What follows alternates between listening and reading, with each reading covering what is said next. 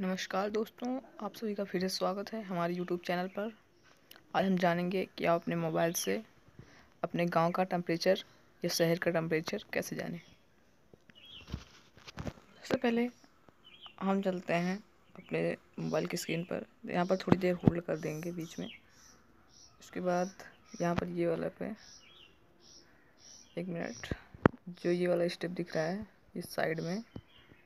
इस पर थोड़ी देर होल्ड के लिए बता रहा है, इस पर होल्ड कर लेंगे थोड़ी देर। होल्ड करने के बाद इस तरह का इंटरफेस आ जाएगा। फिर आपको सीधा यहाँ पर दिखाया लोकेशन लोकेशन को ओपन कर देना है आपको सभी को ओके ओपन करने के बाद यहाँ पर आपको फिर से स्कैन कर देना है। ये देखिए स्कैनिंग हो रहा है।